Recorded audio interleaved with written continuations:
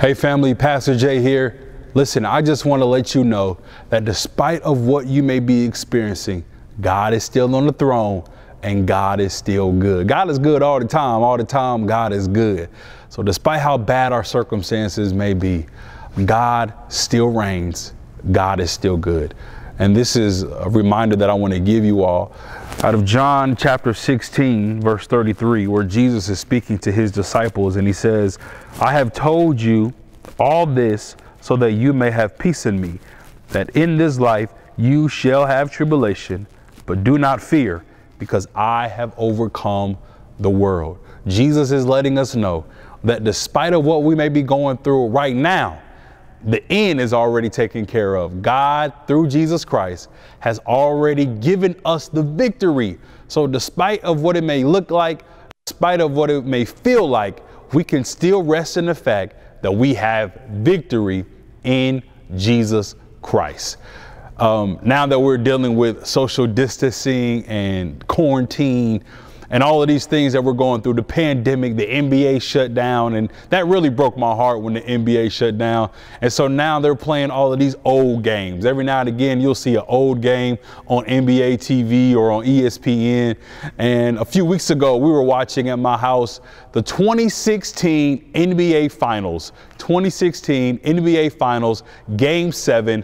LeBron James and uh, Kyrie Irving led the Cavs back from being down three games to one against the Golden State Warriors. 2016, Game 7 NBA Finals. I'm at the crib watching it with my wife Janelle, my stepson Dylan, and our youngest son Jeffrey Allen III. We all watching the game, and LeBron James and the Cavs they were down in some parts of the game, and uh, the pressure was on. It's in the fourth quarter, and my wife is getting worried. She's panicking. She's she's dealing with anxiety because she doesn't want to see LeBron James lose the game. She doesn't want to see the Cavs lose the game against the Golden State Warriors. But my stepson Dylan, he, he reminded us like this game happened in 2016. So Dylan, he already knew what was going to happen before it happened. He knew that Kyrie was going to hit big shots. He knew that LeBron James was going to have defensive stops. Matter of fact, when LeBron James and the Cavs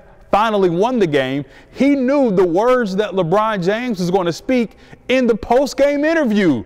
Dylan was not worried. He was not stressed. He was not filled with anxiety because he knew how the game was going to end despite what it looked like for the Cavs and for King James. He knew that even though they looked defeated, King James was going to ultimately get the victory. And you and I, as believers, although it looks bad now, we know how this thing is going to end. We know that the King, King Jesus is ultimately going to get the victory. So, yes, it looks bad. Yes, we may look defeated. Yes, everything is shut down, but we don't have to be afraid. We don't have to be anxious. We don't have to be sad and depressed because Jesus says, Yes, in this life you shall have tribulation, but believe how this is going to end that Jesus is overcoming the world. He is Alpha, the beginning, and Omega, the end. We know how this thing is going to end. So we can praise God even in the pandemic because Jesus has overcome the world.